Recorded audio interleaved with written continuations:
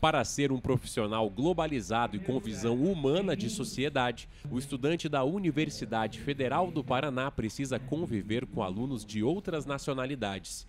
Esta premissa norteou as políticas de internacionalização da UFPR nos últimos anos.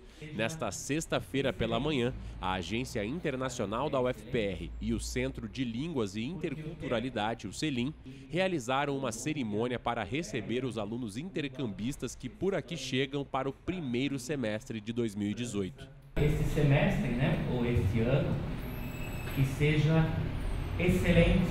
Então, aproveitem muito cada dia.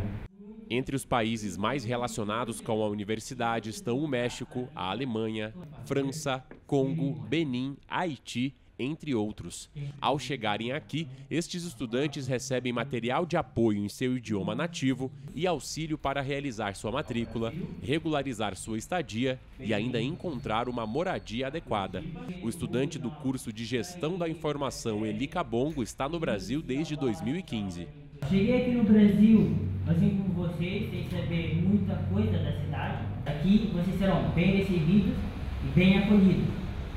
No dia que vocês voltarem, quem voltar para o próprio país, a bagagem que vocês levarão daqui será totalmente diferente. Será mais pesada e mais rica do que a bagagem de qualquer um dos vossos amigos que estudaram tanto no vosso país quanto fora, em um outro país que não seja o Brasil.